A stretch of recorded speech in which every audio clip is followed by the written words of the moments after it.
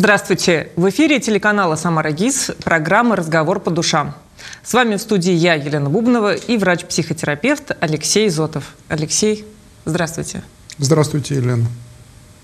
Напоминаю нашим телезрителям, у нас прямой эфир, телефон в студии 202 11 22. Звоните, присоединяйтесь к разговору, предлагайте свои темы, задавайте вопросы. Мы открыты для разговора. Ну, подписываюсь под тем, о чем сказала Елена. Эм, сегодня у нас предпраздничный день. Э, наверное, наша передача будет под сенью этого праздника в какой-то степени. Но ну, это наверное, не точно, как говорит молодежь. Но это не точно, да. И может быть мы попробуем продолжить разговор э, э, о том, о чем мы говорили в прошлый раз. А в прошлый раз мы говорили о том, что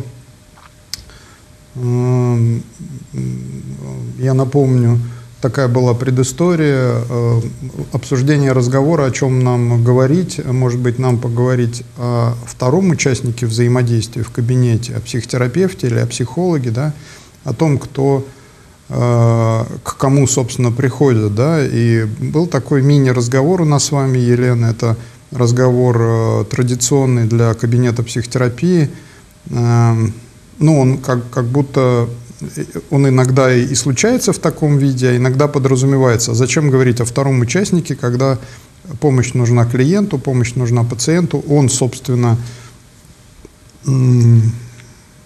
под прожектором, да, внимание, скажем так, да, вот, э, на что э, я предложил такую идею, она есть в профессиональных кругах, что когда для пациента или клиента психотерапевт появляется как, э, ну, в некоторой степени живой человек, то есть он появляется из напластований идеализации, напластований объективации каких-то, да, что значит объективации?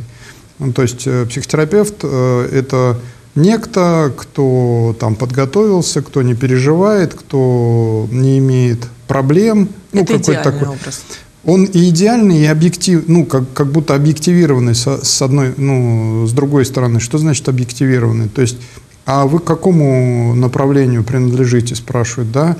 А какова эффективность вашего направления? Мы сразу смотрим когнитивно-поведенческие терапевты, насколько эффективны, насколько эффективны психоаналитики, эти эффективности сравнивают. Алексей.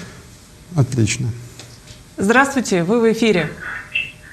А, здравствуйте. Здравствуйте. Как вас зовут? А, меня зовут Милона. Угу. И, и я хотела вам а, приобщаться к вашему разговору, тему, которая была в прошлый раз, фигура психотерапевта, мне очень интересно. Угу. И вчера, о, в прошлый раз, была такая фраза, которая мне показалась очень интересной, что а, человек, приходящий на встречу к психотерапевту, замечает его не сразу. А только через какое-то время а, при, э, специалист для него проявляется. Вот вы как-то можете это прокомментировать? Угу. Спасибо. Спасибо за вопрос. Спасибо да. за вопрос. Мне очень нравится этот вопрос, его, я думаю, хватит на целую нашу сегодняшнюю передачу. Я так попытаюсь уютно в этом вопросе Хорошо, расположиться. если других звонков не будет. Если не будет других э, звонков. Значит, э, попробую с разных э, сторон к этому вопросу подойти. Ну, во-первых, понятно в определенном смысле, почему психотерапевт или психолог появляется только со временем. Потому что когда я как пациент прихожу к нему, я занят другими вещами. Я, собственно, занят ну, своим состоянием, оно вынуждает меня заняться им, я занят своими какими-то переживаниями, то есть я занят тем, э, как говорят специалисты, материалом, теми мыслями, может быть, которые меня одолевают и которые являются теми симптомами, ну, жалобами. Даже вот я да? подумала о том, что симптомы, которые, например, я опять да, на себя, мне легче угу. так, э, принесла врачу, мне нужно заглянуть в себя и найти слова, э, которыми я вот хочу достаточно точно описать то, что со мной происходит. И в этот момент, наверное, да, я тоже не замечаю того человека, который напротив меня. Э, вопрос э, второй, даже если мне, как, допустим, пациенту поставят такой вопрос, ты не замечаешь, А я задам встречный вопрос, а зачем я должен замечать? То есть мне нужно понимать, может быть, мне кто-то растолкует, может быть, мне мой специалист растолкует, или я где-то об этом почитаю, какая в этом польза. Но это же не свидание, в конце концов, где я пришел на свидание к другому человеку, да? Это не, не знаю, не театр, где мое внимание сфокусировано на актере на сцене, да? И я на него смотрю, ну, что он там делает, да? Здесь я пришел э, занятый собой. Э, ну, в определенном... Э, ну, интересно, как раз ага. в театр-то мы приходим э, уже заранее с ожиданием посмотреть на других. То есть вот э, мы не настолько сосредоточены на себе, чтобы вот ну, прям наверное, не замечать того, что происходит на сцене. Наверное, все по-разному. Но вот этот момент, если э, э, мне расскажут э, или как-то меня осенит, зачем э, замечать другого человека э, в кабинете психотерапии, а со временем меня, наверное, осенит, или об этом, по крайней мере, будет разговор. Ну, потому что мне также приходится или я до этого, ну там, не знаю, дозреваю, доживаю, чтобы замечать э, супруга или супругу другого человека, да, понимаю, что только вдвоем мы способны сделать что-то, ну, например, там э, то самое э, совместное, я не знаю, радость и счастье, оно зависит не, не от меня и не от него, ну, индивидуально, это какая-то совместная работа, да, так же, как это э, в массе других э, вопросов э, жизненных, ну, с ребенком, например, и так далее, да, и в кабинете психотерапевта, соответственно, вот этот живой, а этот живой человек, ну, этот человек напротив, он э, какие-то реакции дает. Э, я иногда, наверное, кто-то сказал бы, что этот процесс похож на процесс, может быть, рождения, причем для двоих людей. То есть я сначала замечаю человека напротив частично, ну, брошку какую-то, красивая брошка у, у вас Алексей. сегодня, Елена, да. Здравствуйте. Добрый вечер. Так, вы Добрый. в эфире, представьтесь, пожалуйста. Меня зовут Екатерина. А, скажите, пожалуйста, у меня тоже такой возник вопрос во время беседы. А скажите, а бывают такие пациенты, которых нужно наоборот ориентировать на себя? Ну, то есть, которые очень переживательно относятся как? То есть mm-hmm. они приходят и переживают, а что же с терапевтом происходит? Ну, как бы вот такой вопрос. Э, я думаю, что... Спасибо, Екатерина, за вопрос. Э, он в нашу копилку. Я надеюсь, что я понял вопрос. И действительно, ну, э, мы говорим скорее не о том, что есть люди такие или сякие. Ну, я не знаю, красные, зеленые, синие и так далее. Да? То есть они таким образом сконфигурированы. Скорее они таким образом сориентированы. То есть это скорее не про людей, а про поведение. Да, да приходит человек, который сильно ощущает, э, осознает это или не осознает, э, зависимость от мнения другого Я человека. Я тоже представила человека, неважно, там э, мужчина, женщина, вот, который приходит к терапевту и говорит, вот вот они вот такие сякие розедики, там, да, и вот вы тут еще сидите тоже такой секой розедики, меня слушаете, угу. и вот, ну, вообще весь мир против меня, и, и вообще ужас, как, что делать с этим? Ну, весь мир против меня. Мы с вами начинаем немножко абстрактными категориями говорить, но никуда не денешься. Э, мы периодически конкретизируем, э, уходим в абстракции, опять конкретизируем и так далее. Наши сегодняшние телезрители помогают нам, задавая ну, какие-то конкретные вопросы. Да, наверное, кто-то приходит с ощущением, что все против меня, и это парадоксально, но все равно я прихожу к психотерапевту, который тоже, которому тоже изначально не испытываю доверия определенного. И если нас кто-то сейчас смотрит и задается вопросом, а как человек может прийти, да ну вот приходит. Потому... Да приходит и говорит, и напрямую вы говорят, мне дайте да. таблетку да, от всех моих э, невзгод, и вообще почему вы так дорого берете?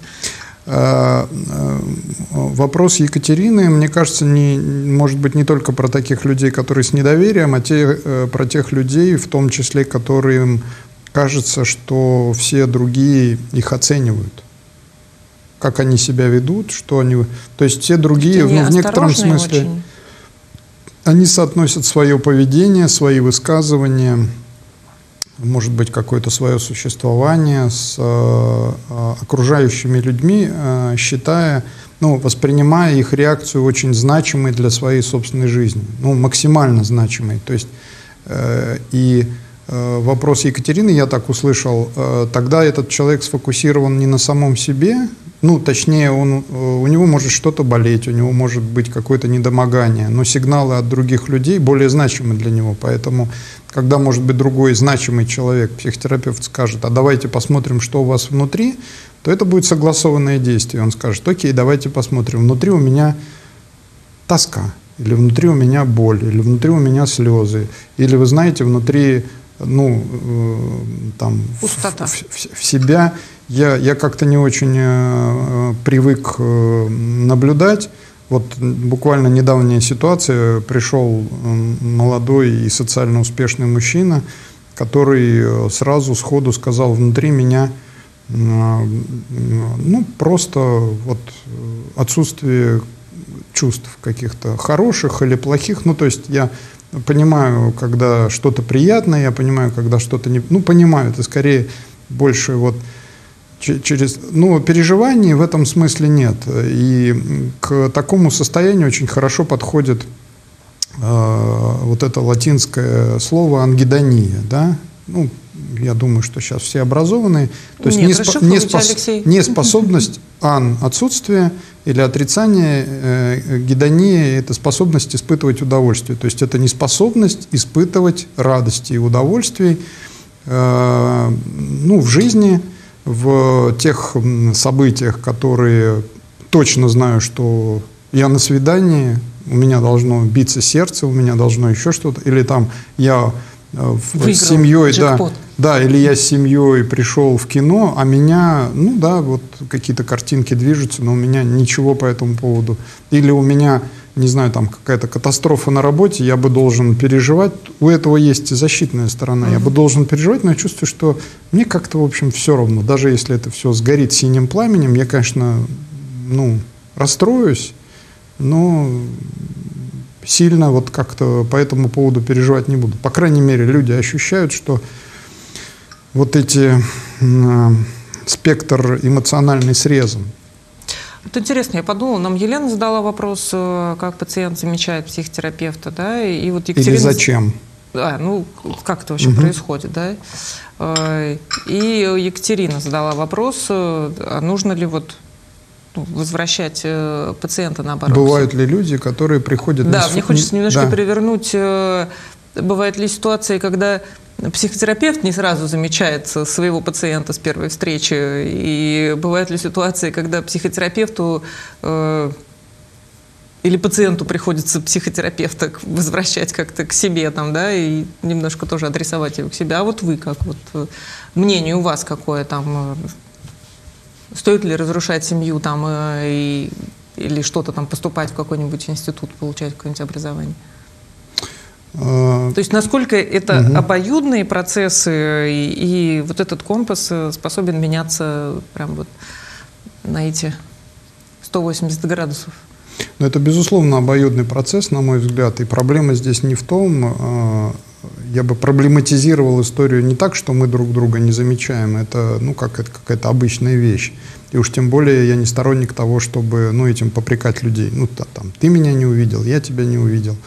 Э, Я просто знаю, что есть часть, э, ну, разные есть психотерапии, в том числе вот такие достаточно, как это сказать, м, ну, не то что агрессивные, а такие конфронтирующие, да, где специалисты, в общем, да, специалисты сразу там сознанием дела, несознанием дела указывают э, клиентам, пациентам на то, что те их не замечают, а заняты собой. Ну, в таких нарциссических каких-то кучах своих собственных э, пребывают. Иногда это нужно, но очень редко это работает в лоб, когда человеку говорит, слушайте, ну вы заняты только собой, вот, больше никем, и это ну, очень редко проходит вот в таком виде. То есть человеку нужно донести еще эту информацию и показать, как это происходит. Возвращаясь к вашему вопросу.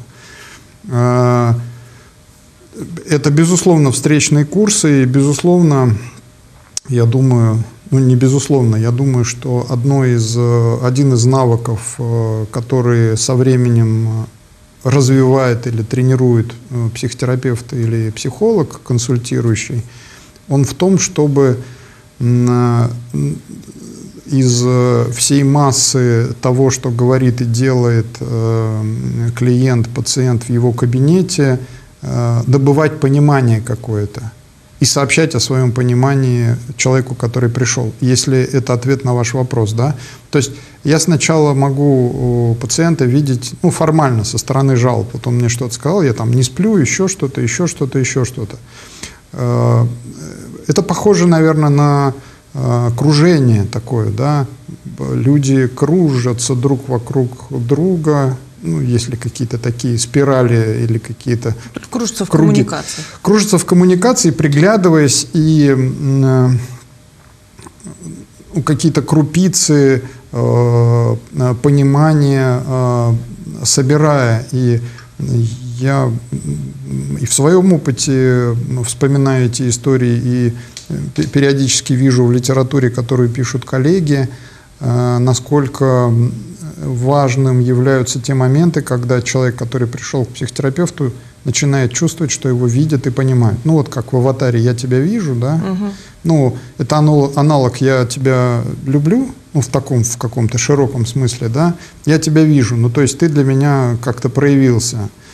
Ну, причем, ты есть для меня, по крайней да, мере. Да, причем э, ведь э, сказать просто «я тебя вижу», как это Э, как это почувствовать. И вот э, психотерапия – это одна из тех э, работ или тех сфер, где это чувство взаимное возникает, да, и оно оказывается для части людей, которые пришли за тем, чтобы, может быть, их увидели, да, для того, чтобы они начали решать какие-то свои задачи. Для них это оказывается важным. А, а у терапевта это такая ну, развиваемая в некотором смысле способность не делать поспешных заключений. То есть это постоянный в какой-то степени пересмотр того, что я знаю о человеке, что я чувствую и так далее. Постоянно какой-то такой Провокационный вопрос задам вам, Алексей.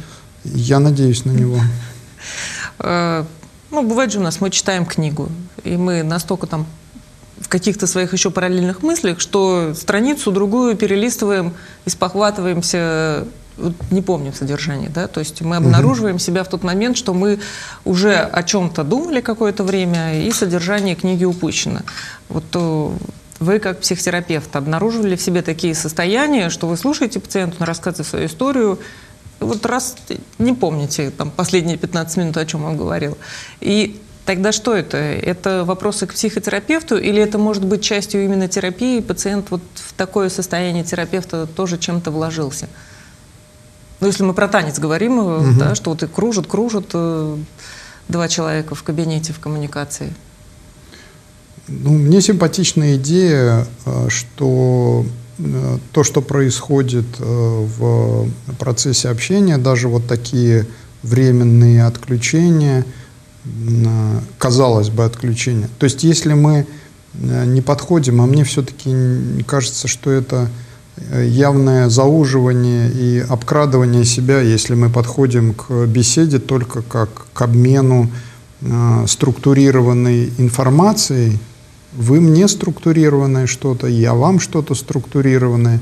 Ну, я думаю, что такой подход э, базируется на полном ну, непонимании кто такой и что такое человек. Да? Человек в основном мало иррационален, мало структур. И слава богу, я бы вот так сказал. Да? Поэтому, когда э, психотерапевт... Я э, думаю, женщины даже больше, чем мужчины. Э, Если вы говорили, Благодаря что сегодняшнему дню, да, да, да, да спасибо. Праздник. Э, и даже если эм, в процессе разговора э, психотерапевт или э, значит, психолог э, улетел в такое сновидение двух- или трехминутное, или 15 минут, но он о чем-то грезил, да, он ну, 15 где, минут, наверное, это я где-то был. Лишканул, нет? Может быть, э, истории, вон, почитать известных психотерапевтов, там может быть и больше, ну, какой-нибудь условно Фриц, Фридрих Перлс спал на какой-нибудь групповой сессии да, в течение какого-то времени. То есть, если мы себя за это не э, критикуем и не ругаем, что мы вышли за рамку какого-то представления, да, то это становится вполне себе информацией о том, а что происходит, почему. То есть, когда это э, кажущееся отклонение можно обмыслить, можно как-то встроить ну, наверное, в эту это общую уже картину. уровень доверия должен быть между специалистом и пациентом, потому что если на первой встрече сказать пациенту, ой, извините, я тут 15 минут прослушал, э, возможно, пациент не поймет. Но если уже была до этого какая-то работа проделана, и, и процессы, происходящие в коммуникации, уже были озвучены, проявлены, как-то разъяснены друг с другом, я с вами, э, Елена, соглашусь, но мы каждый раз, вот, э, и мне забавно это и про себя слышать, ну, потому что я пользуюсь такими же категориями. Вот вы сказали уровень доверия, и ведь это, э, ну, на мой взгляд, несочетаемые вещи. Мы можем измерить уровень воды, то есть мы можем говорить о каком-то уровне воды, мы можем говорить о, не знаю, об уровне еще чего-нибудь, да, ну, высчитать, да, уровень это всегда нек, некий подсчет то как можно измерить доверие. Да? Уровень доверия или уровень э, заметности специалиста, вот то, о чем мы сегодня говорим, или заметности пациента. Да, ну, это, это отчасти э, эхо тех самых э, моментов, о которых, о которых мы с вами касались, но всерьез еще... когда мы говорим, это тоже, наверное, попытка запихнуть в структуру неструктурируемые штуки. А, попытка запихнуть в какую-то структуру, попытка обсчитать, попытка и, и понятная попытка, потому что с ней, как кажется, легче, да, то есть если мы измеряем уровень доверия, как можно ну, измерить уровень доверия, я не знаю, предложить какой-то опросник из там 100 пунктов, да, готовы ли вы, ну там какие-то, я уверен, даже есть такие, наверное, опросники сейчас я на, на вскидку не вспомню. Но при да? этом в них погрешность потом... сильная, которая зависит от э, ситуативности, да, от э, эмоционального состояния отвечающего. Ну, в общем, да. А с другой стороны, ведь мы вполне можем говорить о доверии. То есть мы как будто, ну, я не возьмусь говорить об уровне, какое оно выросло или не выросло. Вот сейчас оно такое, а завтра оно другое, да. В целом, может быть, какое-то потепление происходит, какое-то э, большее доверие друг другу, да, способность ну, говорить друг другу. отдаление, да, если вот... Э, вот, да. То есть о доверии мы можем говорить как будто, а об уровне, как о способности его посчитать, тут ну, нужны какие-то другие я думаю, ну, механизмы, да, другие способы какие-то а, а, сориентироваться в этом доверии. Вот. А, нам, мне кажется, нужно вернуться, и, может да. быть, да, вернуться к этой идее про проявления психотерапевта. Здесь тоже есть э, разные направления, психотерапевты по-разному себя ведут, по-разному себя предъявляют, пациенту. Да? А, Например, Ле- психоаналитики стараются сохранить нейтральность. Собой. Не готов сейчас, Елена, об этом говорить, потому что психоаналитики есть разные. А мы уже с вами говорили о том, что пациенты, которые к ним приходят, разные, и с кем-то нейтральность – это, ну, просто это в книжках написано в этом, так сказать. Можно заглянуть и свериться. Нейтральность с кем-то – это очень хорошо и полезно, а с кем-то это категорически нет. Угу. То есть с кем-то это не должна быть не нейтральность, а, например, э,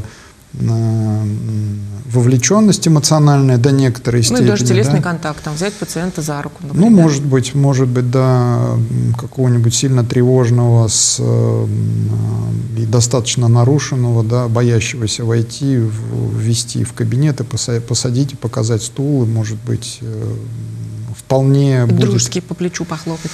Э, ну, я тоже про такое читал просто. Да, я думаю, что наши телезрители э, тоже читают, благо литературы сейчас много. Вот. И я вот эту идею, может быть, я хотел бы сегодня завершить, чтобы нам ее не растягивать, что вот это взаимное появление, э, ну, в данном случае, если мы говорим появление психотерапевта или э, психолога, я намеренно разделяю, по-прежнему это разделение существует, по крайней мере для меня, да, это в медицинской модели психотерапевт и не в, в немедицинской модели. Ну, мы также с вами в паре говорим клиент-пациент, да, подразумевая, да. что клиенты все-таки у психологов, пациенты у врачей, психотерапевтов и психиатров. Оставляя за кадром э, массу вопросов, что эти два мира сильно соприкасаются, для кому-то кажется, что они сливаются до неузнаваемости, кому-то кажется, что они должны быть разделены. Это отдельный там методологический вопрос, как, как здесь должно быть.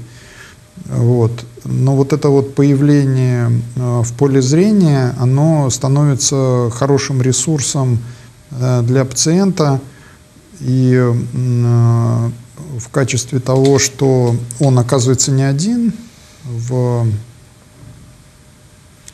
тех вопросах, с которыми он пришел. И это такая очень хорошая прививка от нарциссических тенденций, которыми вот, ну, многое сейчас пронизано.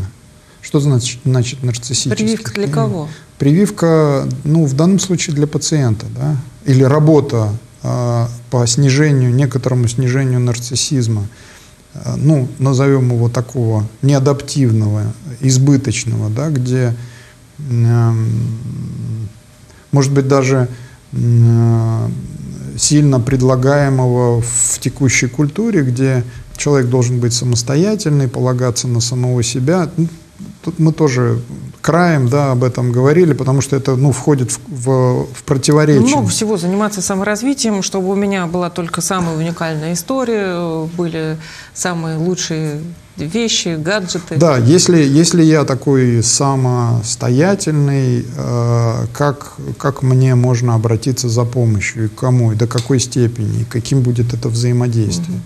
Все-таки, э, на мой взгляд, вектор э, развития человека в том, что он, э, зная сам, о своей самостоятельности и ну, как-то ну, принимая, что ли, ее, увеличивая ее, он также знает о своей вовлеченности в других людей и вовлеченности других в себя. И это не становится для него ни шоком, ни открытием, ни обременением, что он в кого-то вовлечен, ну, как сейчас модно говорить, зависим, да, и кто-то в него вовлечен или зависим. То есть это становится ну, его жизнью. Вот для меня вектор взрослости в эту сторону. Вот.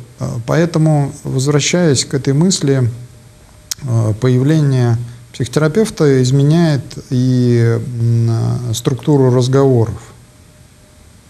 То есть э, они начинают иногда говорить о том, э, как, как это в текущем моменте, как для одного, как, как, как для другого.